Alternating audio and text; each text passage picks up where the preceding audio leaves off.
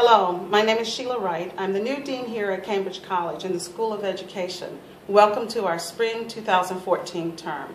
We are excited about the opportunities here at Cambridge College and look forward to you being here with us. Our doors are always open to you. Doors open, doors close, but ours are always open. And our faculty and staff are willing and excited to be working with you.